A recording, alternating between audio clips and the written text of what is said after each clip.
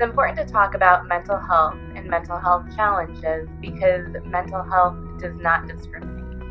It does not discriminate age, race, gender, socioeconomic status.